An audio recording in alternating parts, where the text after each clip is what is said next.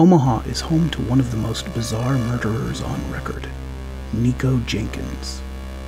You may have heard his name shouted by video game players when they go off on someone. This is because he is truly psychotic.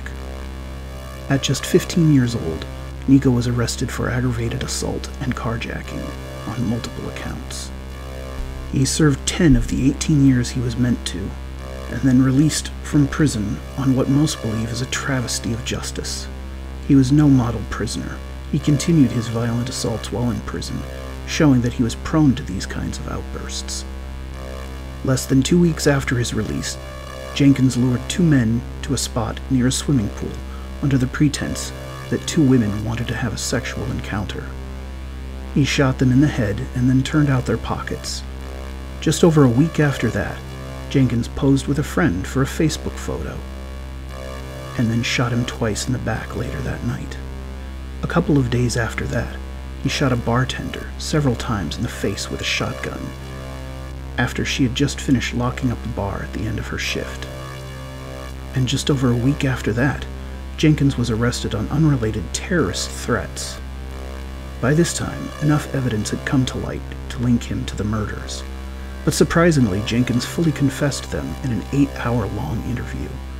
He said that he had killed these people as a sacrifice to Apophis.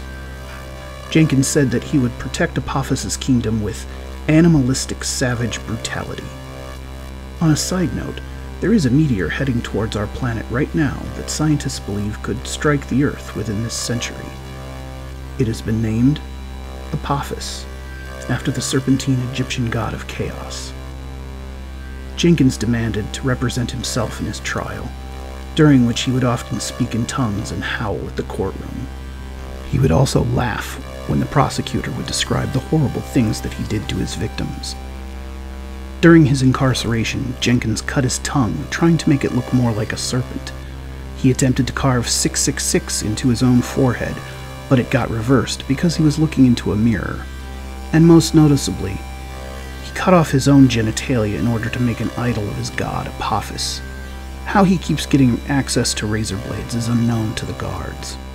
Most people think that he's insane. But here in Omaha, we know it's not entirely unlikely that he is in communication with an Egyptian god. Perhaps he is our own evil version of Moon Knight.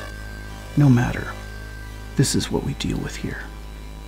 Omaha is a dark place indeed.